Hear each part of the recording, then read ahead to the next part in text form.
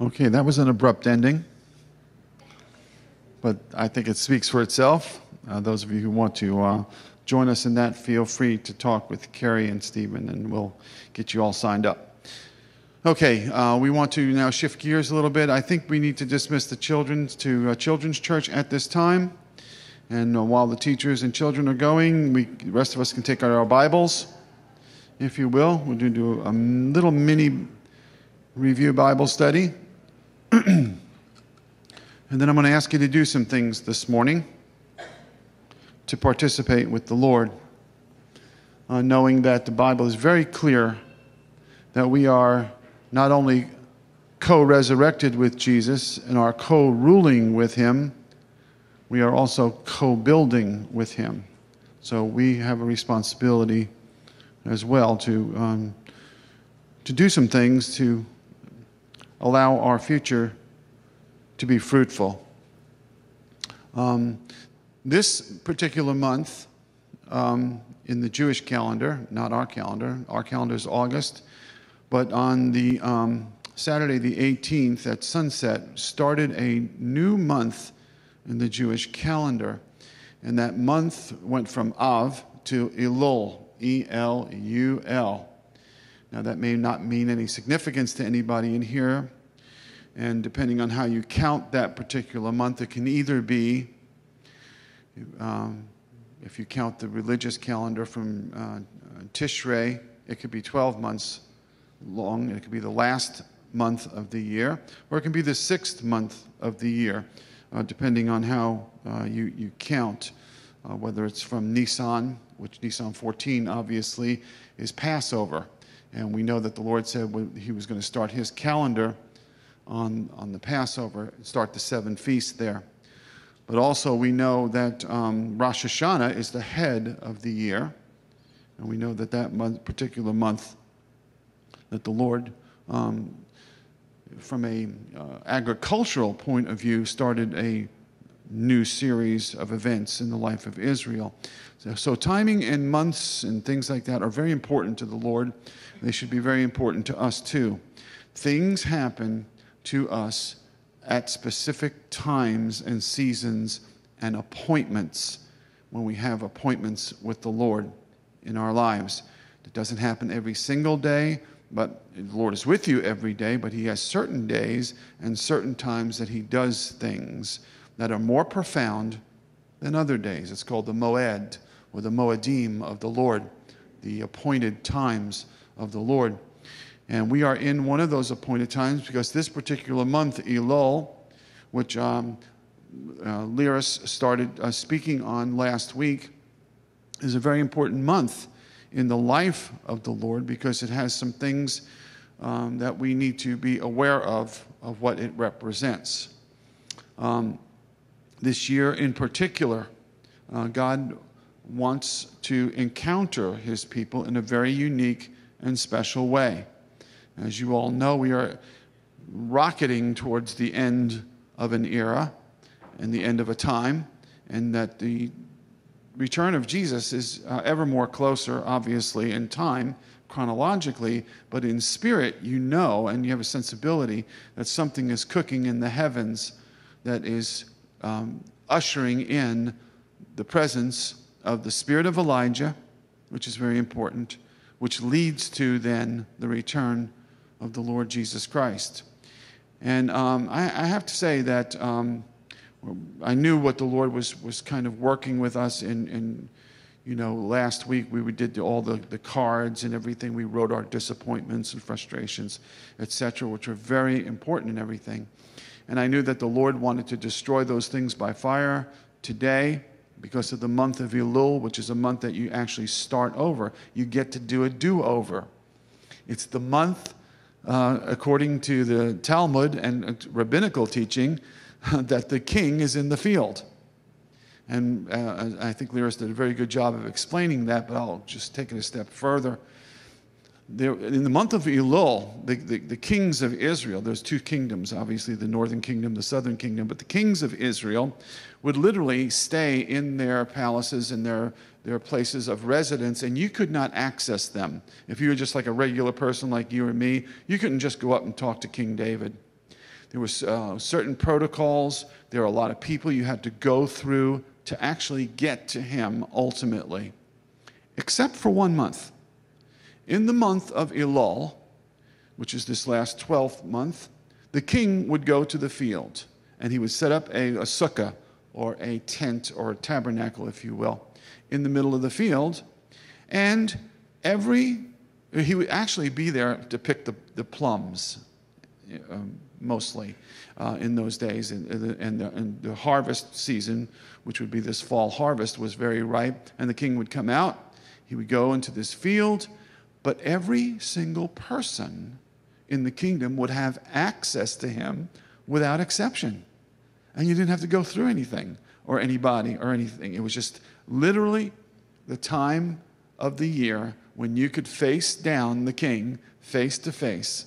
And the king would, would be with his subjects, and the subjects uh, literally would be with their king.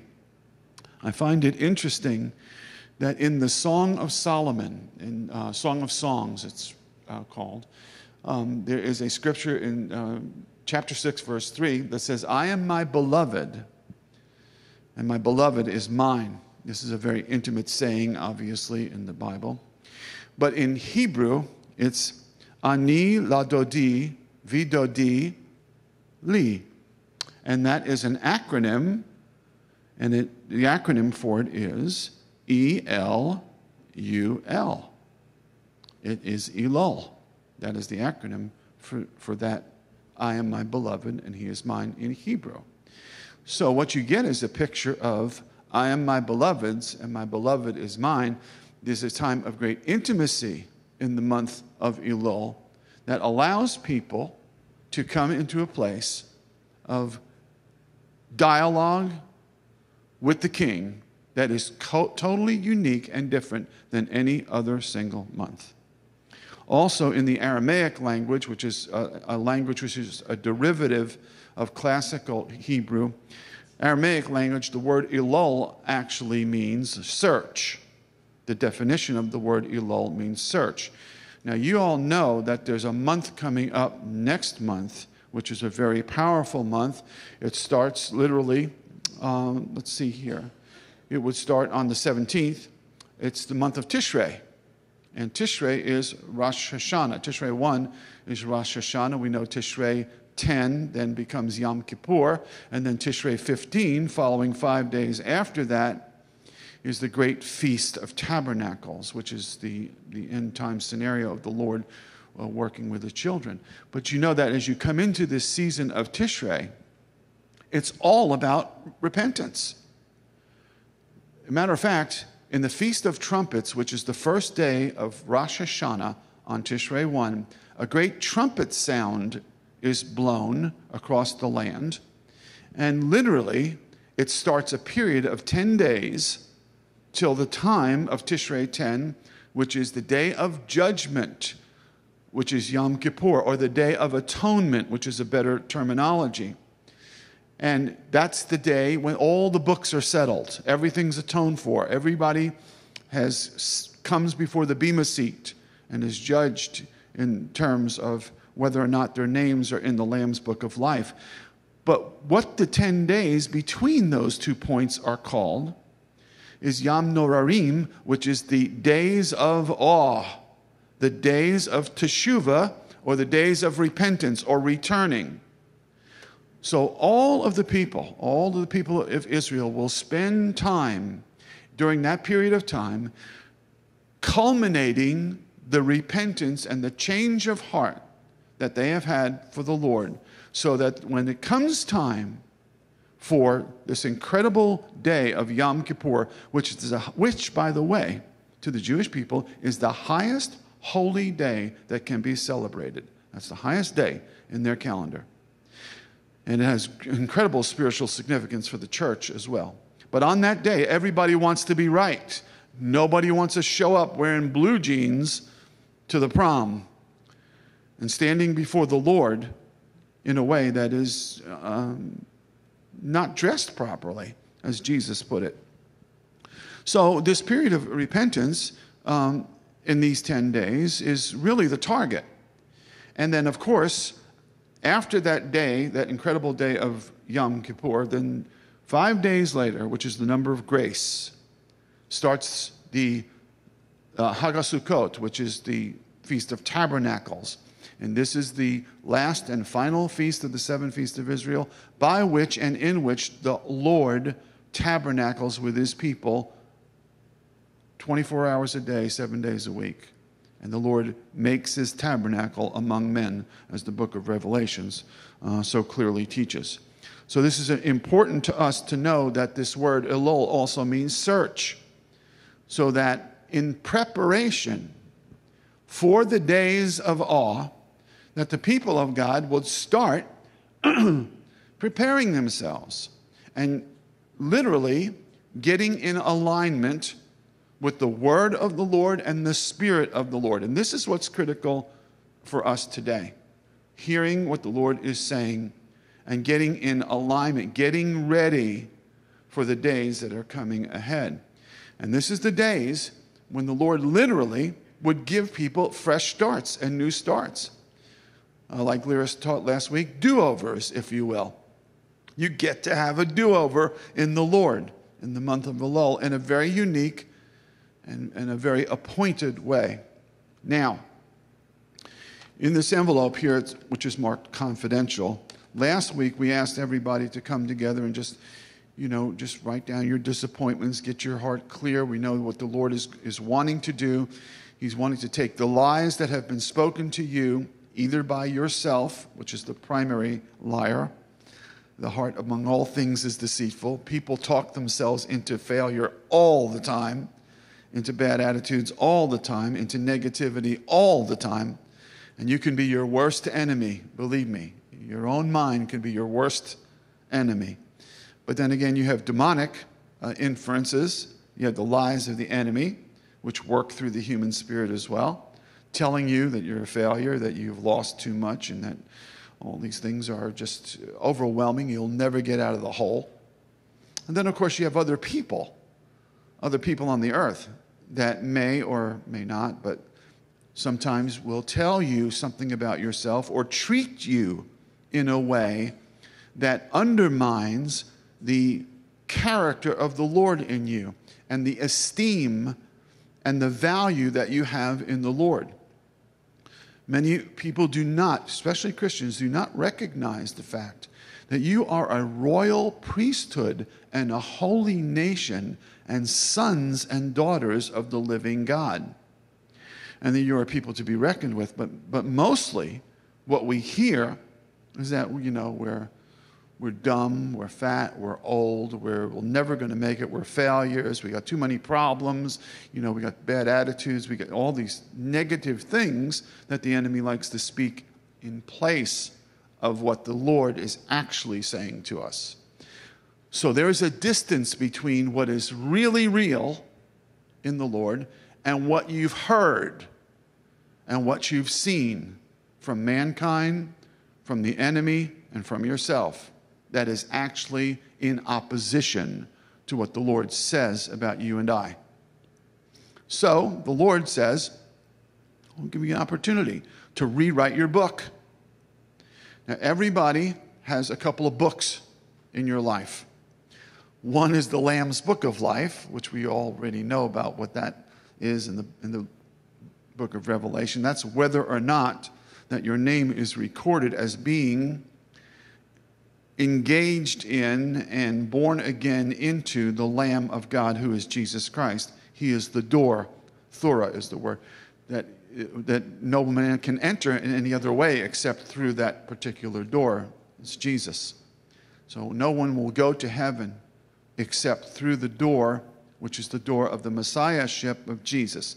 So that's the Lamb's book of life. But the Bible clearly says, and other books were open too. Now, each one of us has a book. And what is written in this book is written uh, by multiple sources. Your book is written by those three entities I just discussed the human spirit, the spirit of Antichrist or demonic spirits, or the voice of other people, which carries a lot of power as well. And whatever you believe gets written in this book. Whatever you believe about yourself gets written in this book. Whether that be positive or negative, whether it be something that is either true or not true, it doesn't make any difference. But whatever you believe is what actually transpires. And whatever you believe about yourself is actually what is recorded.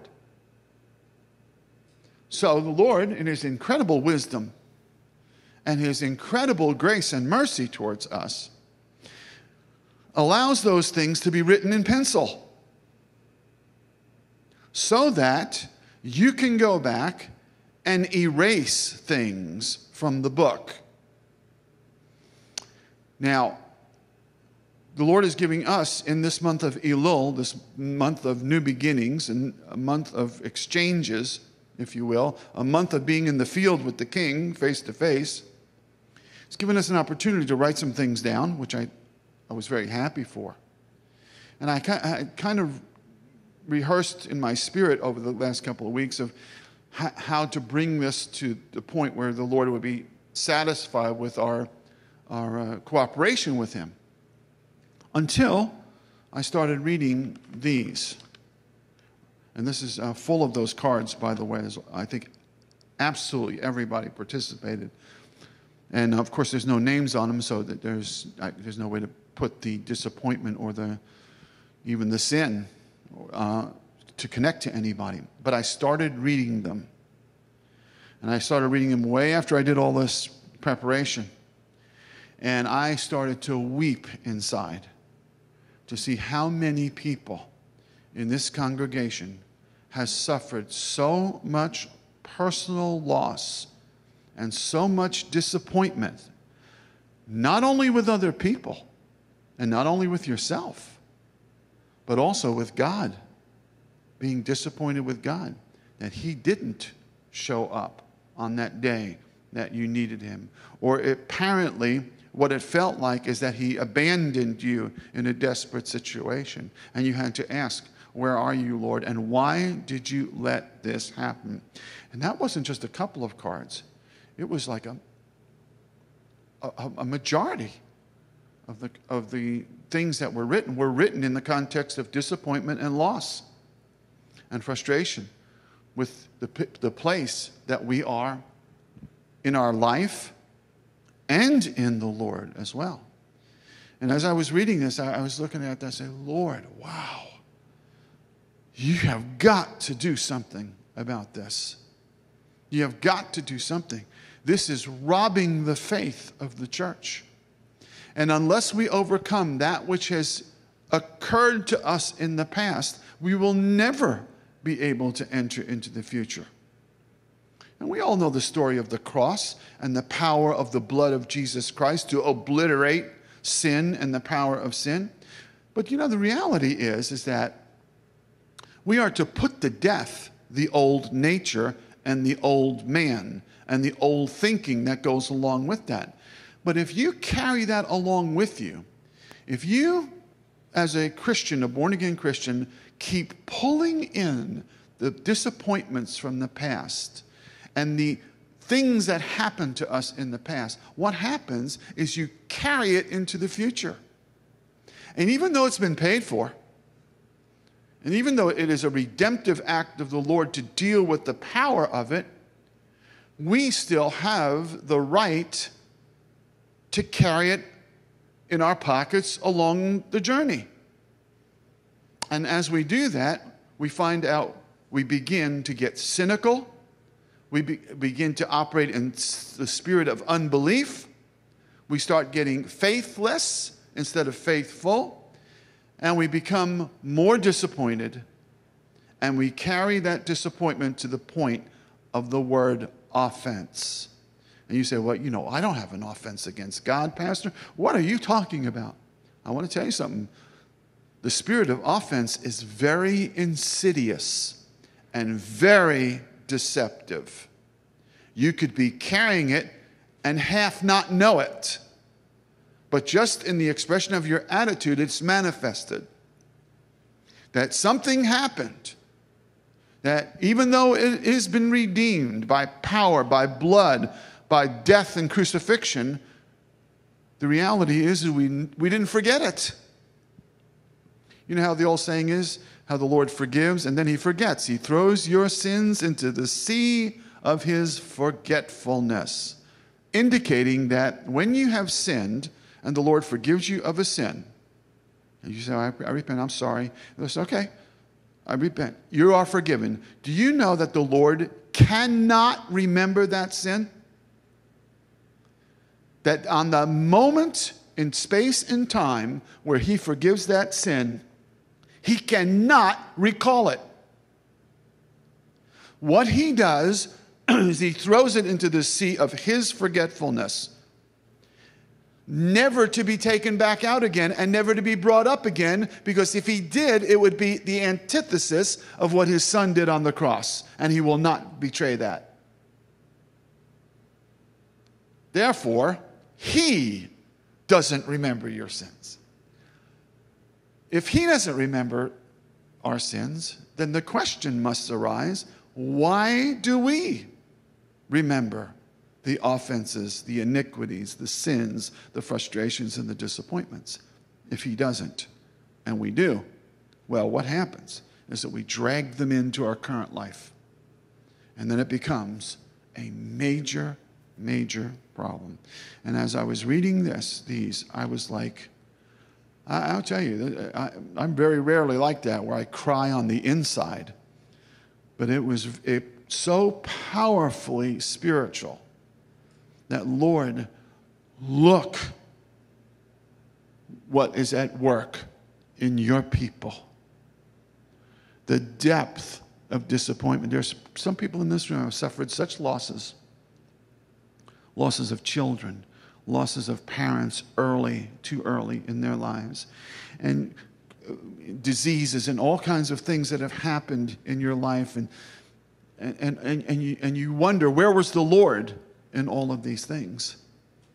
And what has happened as the, the, the disappointments have grown into these little pockets of offense. And these pockets of offense reside in us. And what they do, it's the chief weapon of the enemy to keep us from being who we are in the Lord.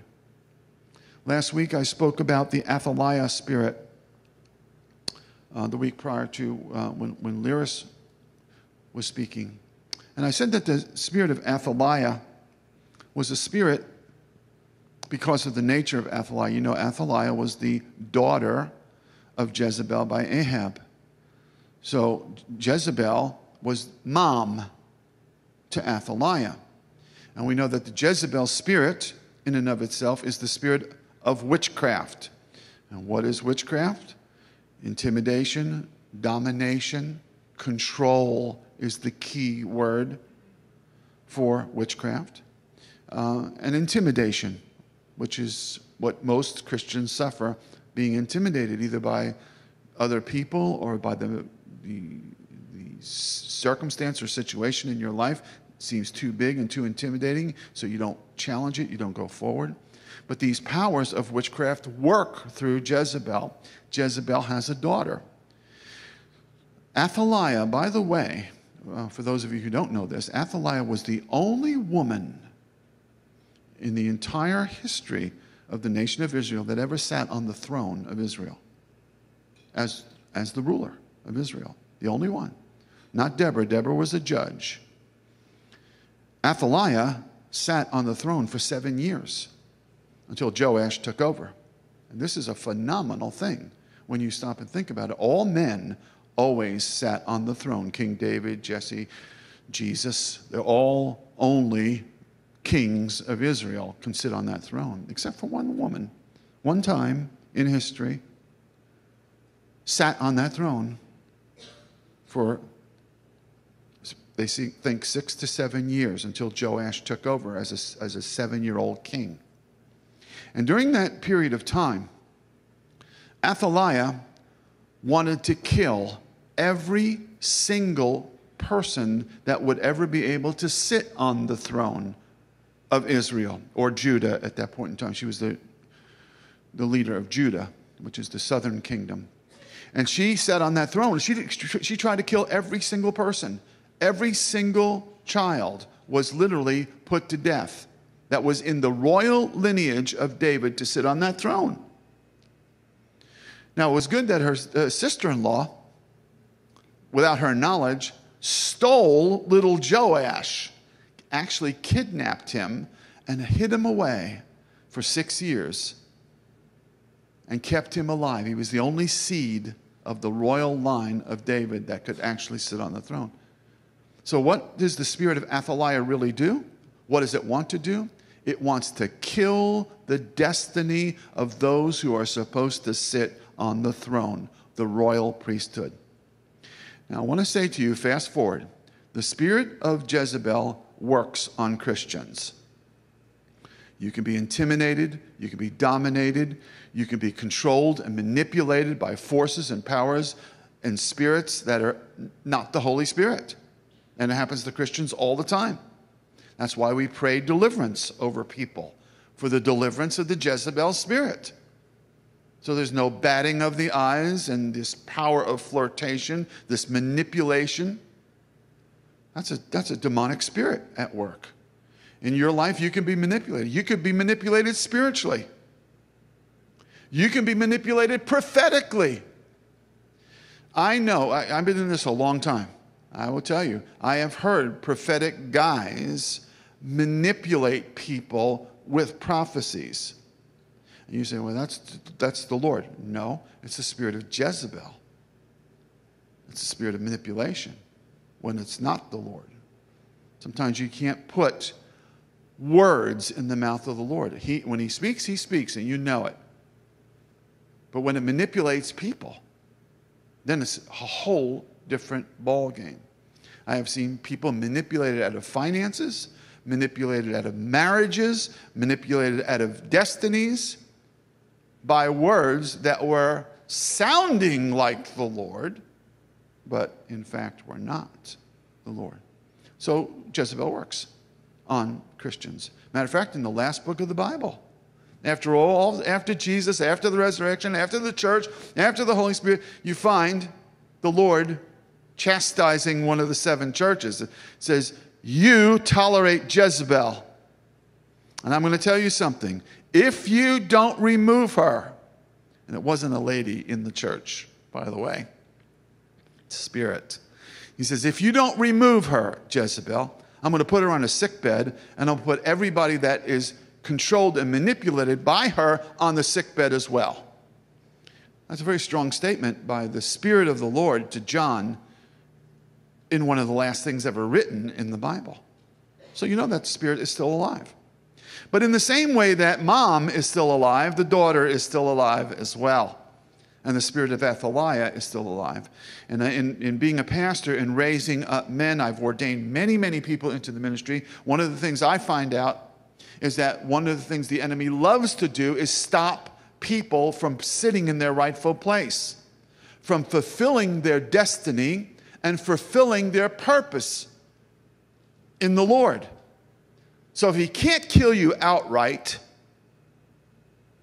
and he can't stop you from following the Lord, he'll do the next best thing, which is stop you from actually fulfilling why you are on the earth and what you are called to do. And the spirit of Athaliah tries to kill that seed and it's still at work even into this day. So the people of God must rise up with not an Ahab spirit. Now, let me just tell you something very quick for time's sake. Ahab was the husband of Jezebel. Now, Ahab was the, was the king, but he was the classic abdicator. And by abdicating, what I mean is that when you have authority, and you give it up or you drop it for the sake of somebody else, it creates a vacuum in the authority. And in the spirit, there's a, a void in the vacuum is always filled by something else. So if you have an Ahab spirit, which means you constantly allow for these things to happen. You don't fight against it. You keep yielding to this intimidation and to this pecking and gnawing, and you keep giving up, keep quitting. You create a vacuum, and that vacuum is filled up with another spirit. And in Ahab's case, it was his wife. She jumped right in there and she became the one dictating what is going to go on in Israel. And literally started doing things that were actually in opposition to God. Well, in the same way, in the very same way, whenever we are being assaulted by either Athaliah or mom, Jezebel, this power of witchcraft, to the extent that we are in Ahab, to that same extent, the manifestation of those things will come to pass. So, although Ahab was a king, an appointed king, in name and in title, the problem with him is that he didn't stand up and he didn't fight. And he allowed the manipulation, control, intimidation, domination to take over, and you know the rest of the story. But there's another character in this story. His name is Jehu. Jehu also was an anointed man of God, and he decided, we're not going to have this. We're going to stand up. And he is the one who called out Jezebel. And when he called Jezebel out, she was in the tower at that time, he told the eunuchs, there were a bunch of eunuchs. Eunuchs were desexualized males that were put around queens in those days so they would not violate the queen. There's no way possible that they could ever violate the, the queen. So they set eunuchs all around these uh, important women in the Bible, and so they could not ever be molested or violated in any way. But they were also emasculated by the very same act of becoming a eunuch. So Jehu calls down from the tower. He's down on the, uh, at the horse gate. He calls up to the tower, and the eunuchs respond by throwing Jezebel off the top of the tower, and then Jehu's horse tramples her until only the head and the feet and the hands were left identifiable. Now, it's funny to me, I have prayed against in, in, in deliverance against the Jezebel spirit on hundreds of occasions. And one of the manifestations that you find in people is their hands start going like that, and their feet start twitching, and they have pains in their head. Now, you may say that's just a coincidence, but it's a funny thing. I could be standing in a prayer line praying for somebody for the Jezebel spirit, watch their hands start going, and know it's the Jezebel spirit. And that's exactly how Jehu overcame her when he tram- his horse trampled her into the ground. So there was a rising up. There was a Jehu spirit and there was an Ahab spirit.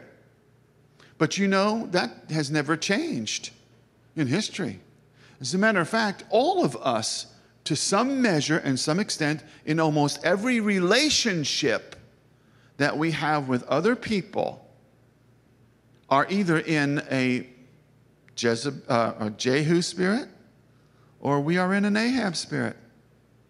We are either taking control, having authority, or having authority and control taken from us, which is why the Lord wants to say to us, in this season, I want this to change for you. Rather than being the brunt of all of this, He says, I want you to be on top of the horse instead of underneath it. And that whole term being thrown under the horse, like we say it's being thrown under the bus, really is a derivative of what happened to Jezebel. We don't want to be thrown under the horse. We want to be on top of the horse, not underneath the horse. So the Lord intends to do some incredible things um, uh, with, his, with his people. Um, I'm going to kind of fast forward here a little bit. I just want to give you just really very quickly and if you just listen to this, if you can't write it down, don't. You just get the tape later on. But I'm going to give you 10 indications of, of whether or not you're under the power of witchcraft in any way, shape, or form. This is the 10 manifestations. They are also in the order of how they occur. And this is after decades and decades of research and comparing notes with deliverance ministries. So, number one, how you know this progressive sequence of witchcraft in operation in your life is number one, you start feelings of lethargy and tiredness.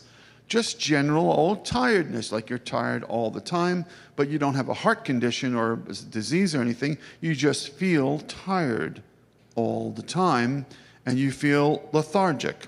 This is beyond normal sleepiness and can often follow with disruptive sleep patterns.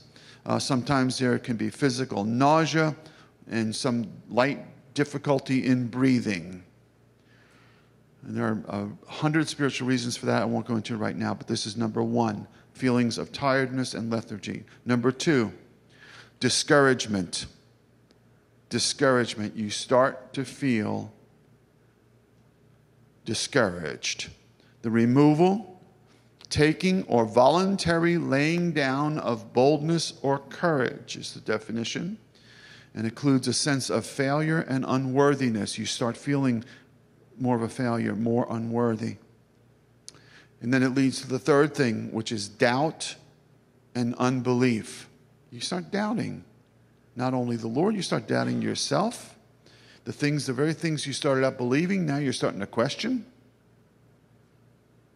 Then the fourth thing is confusion and double mindedness. All of a sudden, after this power starts working on you after a while, you start to get confused about stuff.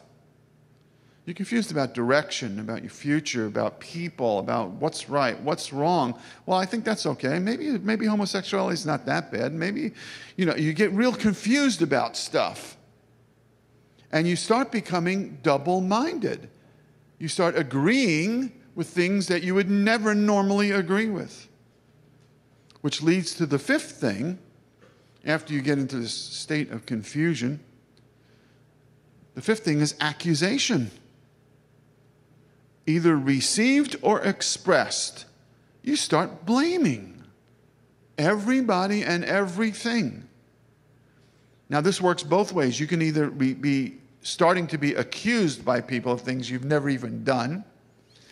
False accusation at work. You find you, you go in there and people are saying, well, you know, he, st- he stole all the stuff off the desk. He didn't put the report in on time. And you find you, you, you're being inundated with accusation or you become the accuser, which is part of the nature of the Spirit, the accuser of the brethren. You start accusing people. Well, you know, it's, my, it's, it's the church. The church stinks. It's, it's the pastor. He doesn't know what he's talking about. You know, it's my wife. She's really the, the problem here. No, it's my husband. No, it's my kids. No, you know what it is? It's my money. It's my finances. No, if it, I only had good health, you start accusing in an inordinate fashion. After the accusation, the next progressive level is the loss of vision and hope. You start to lose, after these five stages, the sixth stage, you start to lose your vision a little bit. What you started out with, you knew where you were going, you knew what you wanted to be, you knew you were going to serve the Lord, you knew you were going to follow, you knew you were called, you knew you had a purpose all of a sudden, you lost the vision. You say, I don't, I don't, you know, I don't know what's happening. I don't care what happens. I'm just living day to day. And of course, that leads to a loss of hope. Vision and hope, by the way, are always tied together. Which leads to the seventh thing indecisiveness and bad decision making starts when you're under the influence of the power of witchcraft, after a certain period of time, you begin to become indecisive. People will ask you, What do you want to do about this? And you will not give them an answer because you can't. You have become, you don't know what's right. You don't know what's wrong. You have no hope. You have no vision. You don't know what is good, what is bad for you. You don't know what the right course is or the wrong course is. You're caught in the valley of indecision, so you're indecisive. And the result of, of being indecisive, by the way, is that when you ultimately make a decision, it's usually a bad decision. So bad decision making becomes a fruit of witchcraft, which leads to the next level. And then it starts to get serious right about here. The next level is called depression. Depression and oppression as well. Now, you can be oppressed without being depressed. But the reality is, depression is more rampant in the church than we care to confess to. There are many, many Christians who are spirit filled, on their way to heaven to see the glory of the Lord, that are completely depressed in the earth. And that's a power that comes over people. You can be oppressed by demonic spirits and the spirit of witchcraft, even as well, which leads then to the next level, which is called abdication. Abdication is the Ahab spirit. Abdication is quitting. Abdication is giving up. Abdication is stepping off the throne that you're supposed to sit on. You know, when kings abdicate the throne, you hear this in history. You all went to high school, so you had high school history. And, you know, uh, the, the king of Norway abdicated his throne. What does that mean? Well, what it means is that he steps off the throne, says, I don't want the authority anymore, give it to somebody else. Somebody else steps on the throne, and he loses all of that. So you get to a place after you're so oppressed and depressed by life's attacking you through the spirit of witchcraft and manipulation and bad, bad signals being sent your way, that you become depressed and oppressed and it leads to abdication. Say, I quit. It's not going to work anyway, so why even try?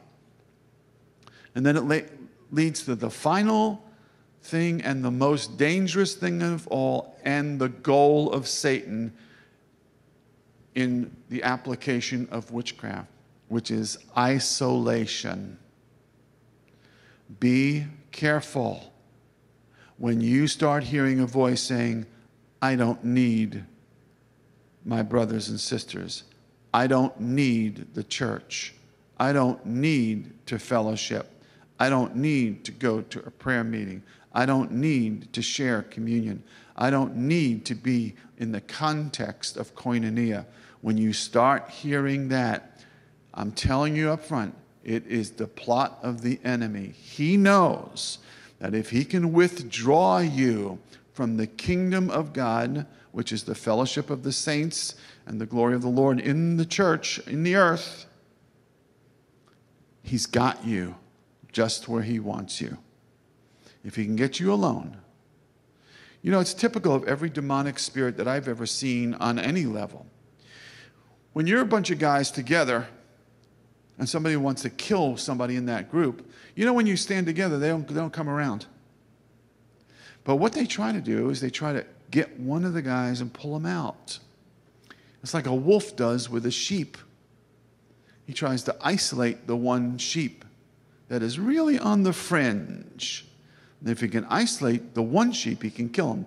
But you know, he, wolves never attack a whole herd, a whole flock of sheep. They never do.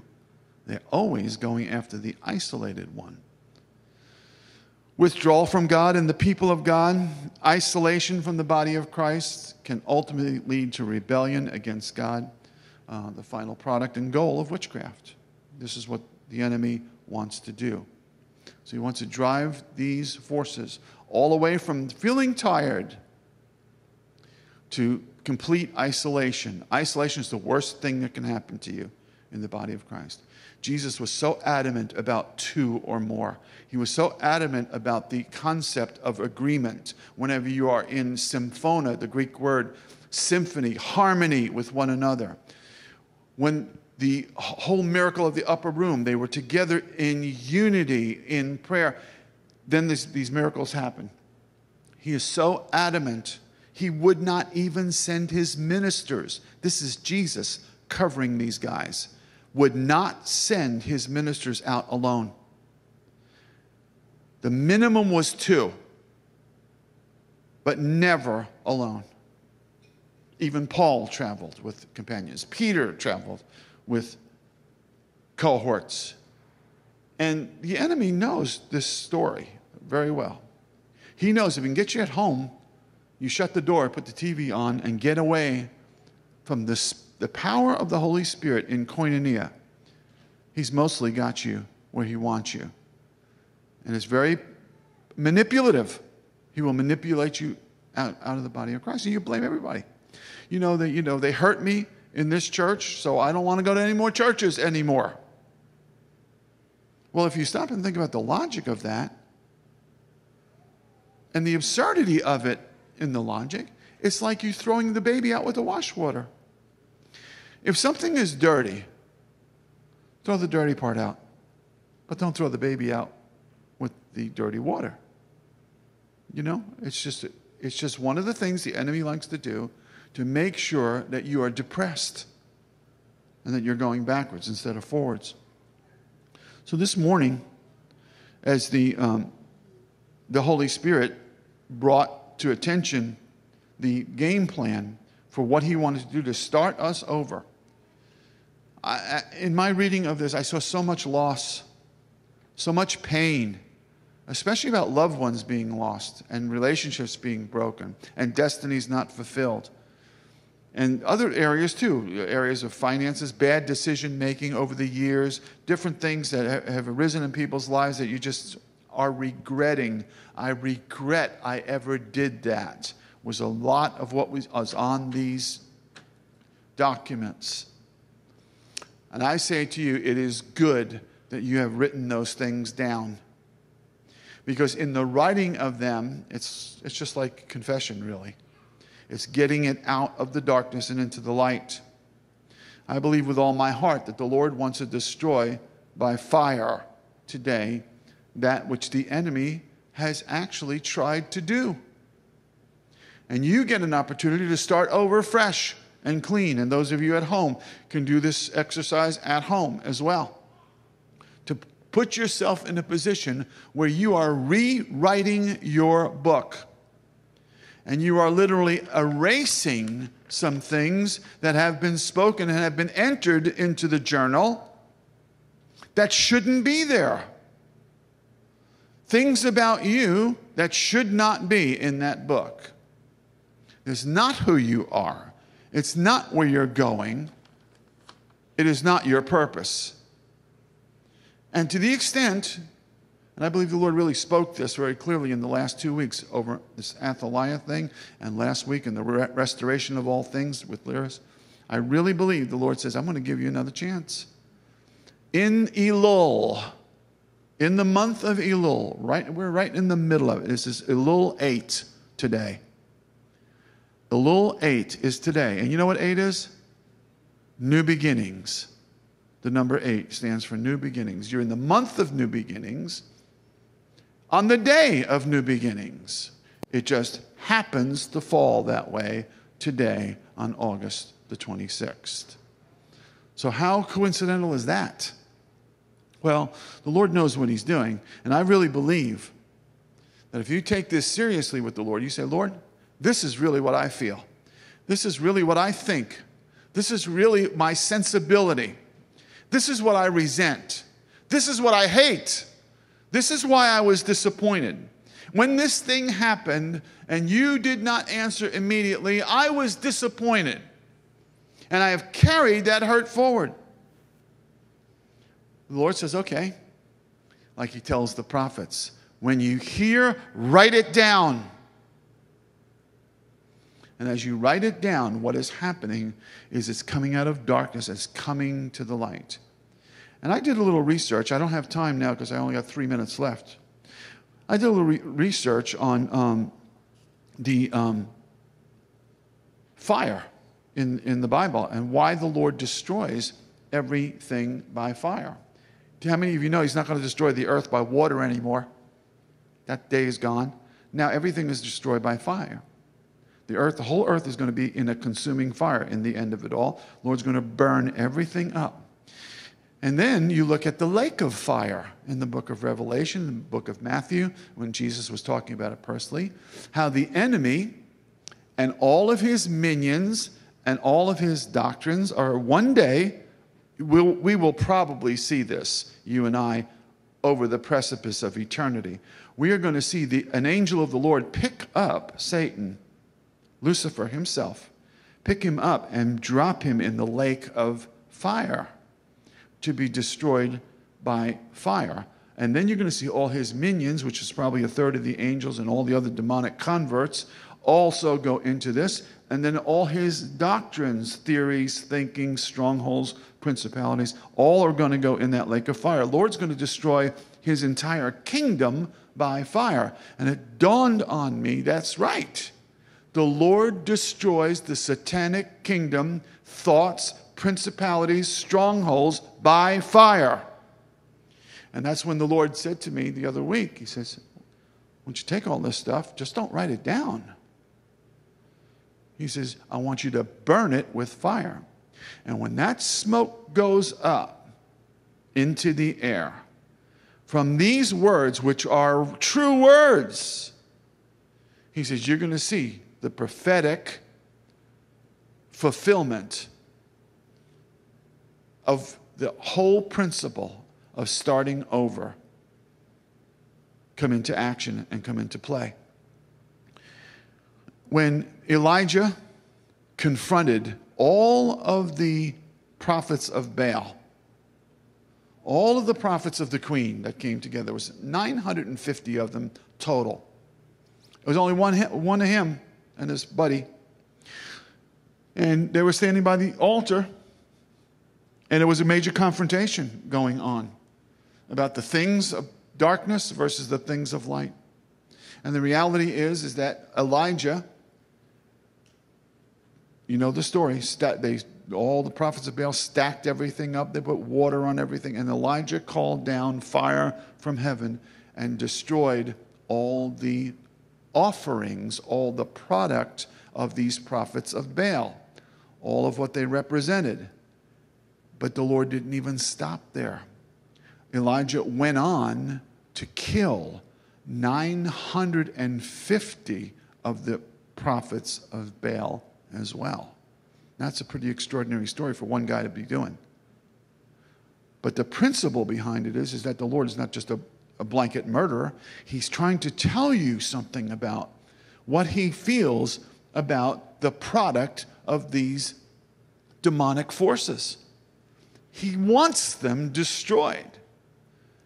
And prophetically, we will destroy them by fire. So this morning, we want to um, take this a, a little step further. Um, we want to go, go back to these cards for a moment.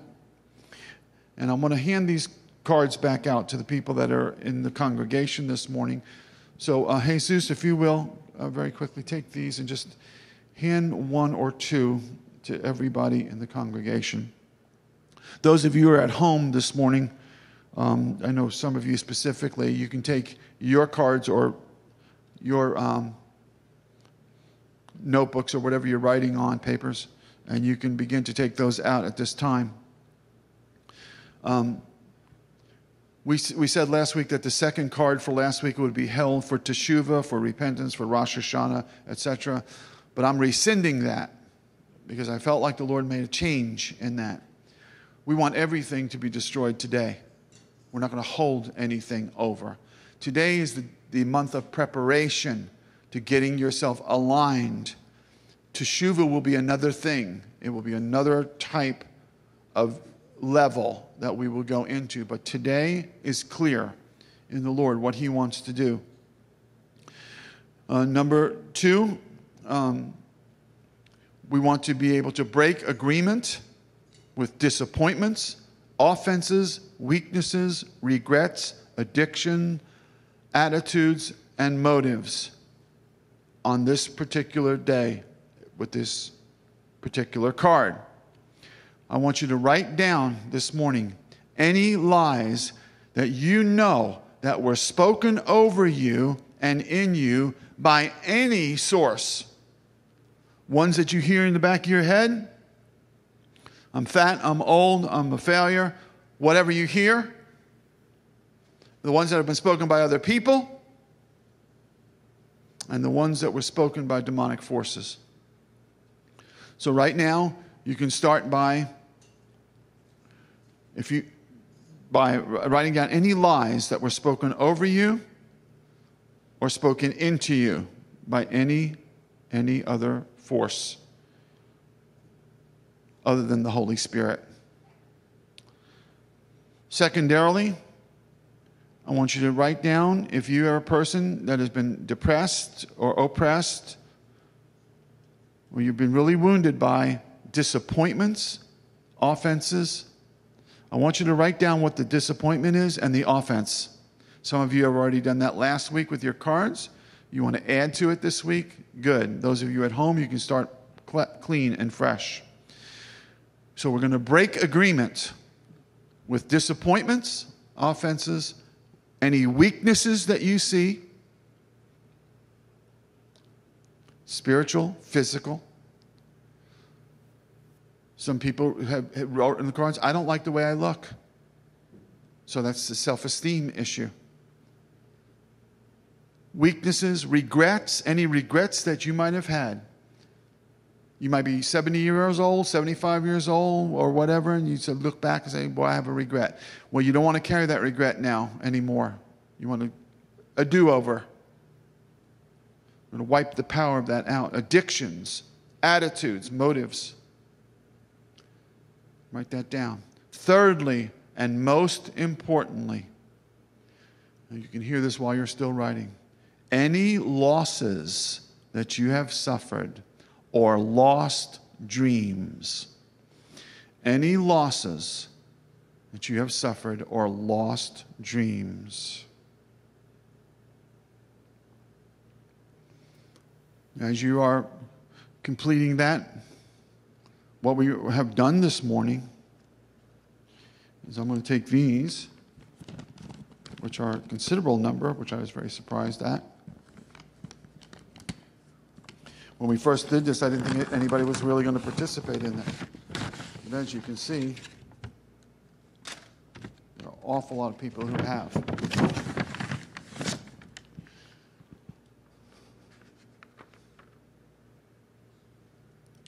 We're going to do two things uh, this morning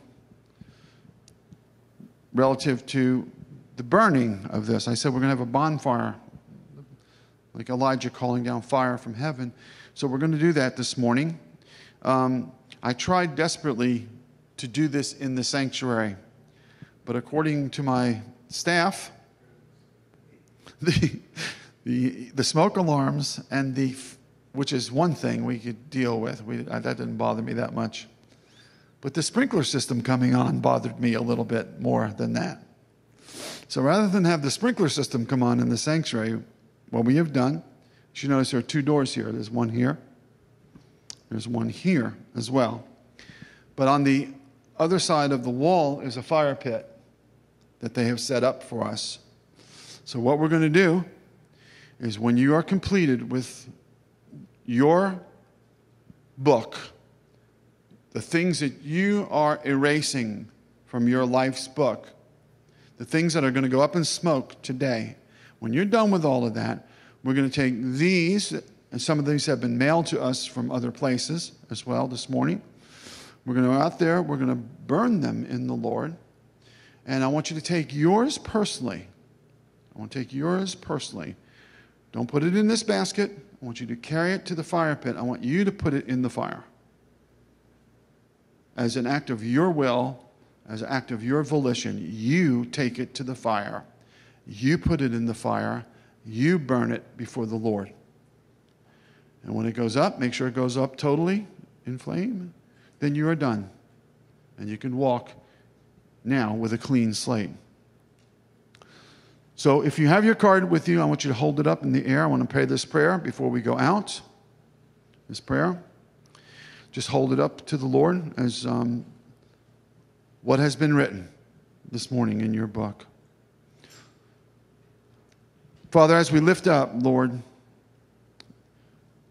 these acknowledgments of agreement, we are asking you today, O oh God, to break the power of the enemy in our lives from things that have been disappointing, things that have been lost, things that we have regrets about. Lord, we want to prepare ourselves to see you. And Lord, as we know that the enemy has, has really tried to manipulate us, to control us and intimidate us, and to cause us to be less than we actually are. This morning, Lord, we say, thus far and no more. We draw a line in the sand, O Lord, in our proclamation and declaration that says, What is written today will be destroyed today. And we shall not resurrect it from the dead. We ask you, Lord, to take what is written into the sea of your forgetfulness never to bring it up again, never to be influenced by it again, and never to have it utilized against us by demonic forces ever again. So today, O oh Lord, we break free of that which was written against us. Those schemes of the enemy and those voices that led to depression and isolation frustration. So today, O oh Lord, we do our part knowing that you will do yours. We submit to you knowing that you have authority over all of the kingdom of darkness. And today, O oh Lord, let it be like the days of Elijah when the fire of heaven comes, O oh Lord, and burns up every aspect of the enemy. You didn't even leave the water, you even burnt the water up. Everything must go, Lord, today. And Lord, what we write, we write in earnest. What we have, we come to you with a trueness in our heart, knowing, Lord, that you will not turn us away. And you will not be angry at our disappointment, even with you for you are larger than we are, and you are more forgiving than we could ever be. So, Lord, before we burn these, we accept your forgiveness.